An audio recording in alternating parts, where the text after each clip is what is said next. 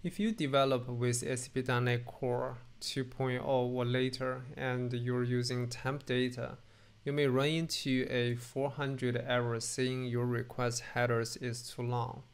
I've recently encountered uh, this issue while developing my open source blog with ASP.NET Core. It happens when I'm editing a post and I try to preview that post.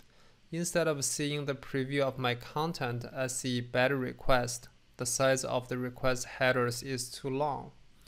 The fact that this error happens only with this post and the error message itself really does not make sense to me.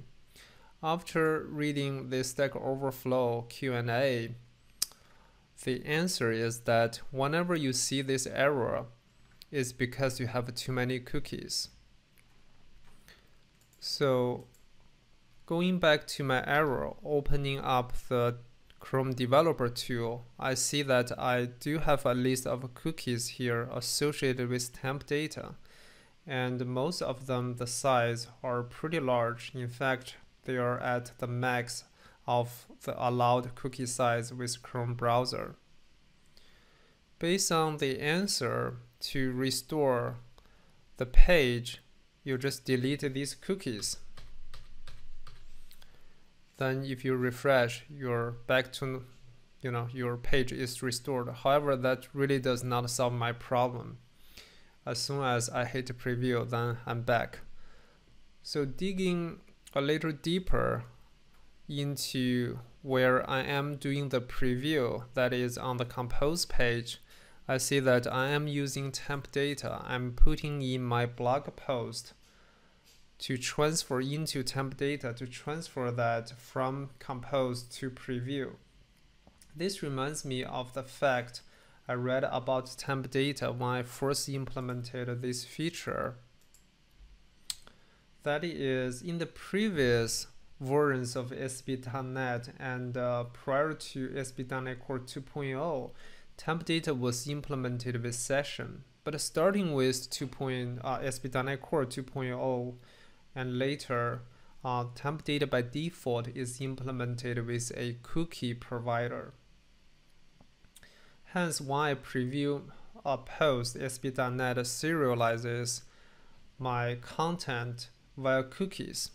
If you see here, I have five cookies related to temp data. The first one got a 46 bytes. It says chunks 4, signaling that there are four chunks and if you see that uh, these four chunks are actually containing my content and they exceed the max limit of the headers.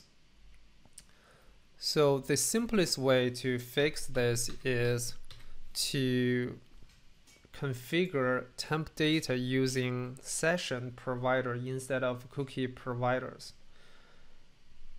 for scalability reasons, I'm not normally a fan of session. I prefer using cache. Specifically, IDistributedCache. But here I can make an exception for just this one feature because once the object stored in temp data is accessed, it is removed from temp data, so it sh should not affect the performance. Um, on this topic, ASP.NET does have two other similar mechanisms that could be used to pass data from controller to view. Uh, the view data and the view bag, but those two are used to carry data to the same view.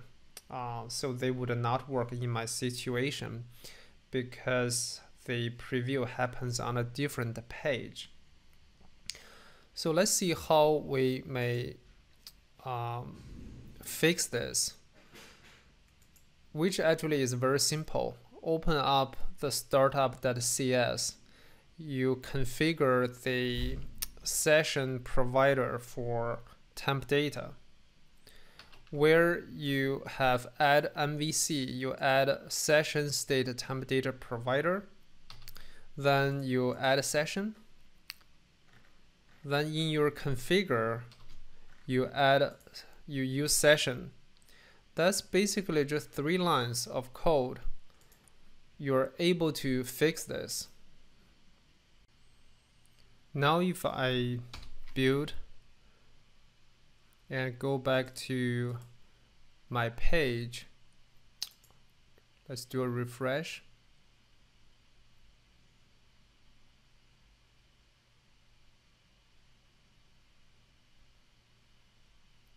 and now if I do the preview it shows the preview and no more temp data cookies here so that's just a tip I thought I want to share with other ASP.NET Core developers. Thank you for watching.